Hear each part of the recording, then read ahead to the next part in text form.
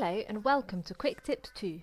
Today I'm going to show you how to allow priority calls when Do Not Disturb is enabled. This will allow you to only receive calls from selected people while blocking everyone else. From the home page, tap and hold the top section of your screen whilst dragging it down.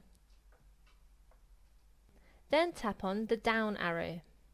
Now tap on Do Not Disturb. You will be given some options total silence, alarm only, or priority only. Select priority only. Now choose whether you want do not disturb enabled until you turn this off for one hour or until the next alarm. I will select the one hour option. Now tap on more settings and tap on priority only settings.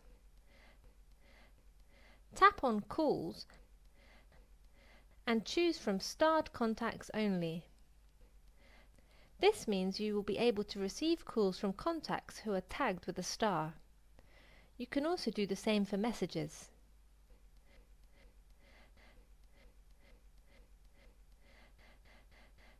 Now go to your contacts and choose the contacts you want to tag with a star. Let's say the contact's named AAA. So tap on the letter A next to the contacts named AAA. Now tap on the star on the top section of the screen to select it. By doing this, you will only hear a ringing tone if you received a call from the contacts named AAA. Everyone else will be silenced. A simple way to allow priority calls when Do Not Disturb is enabled.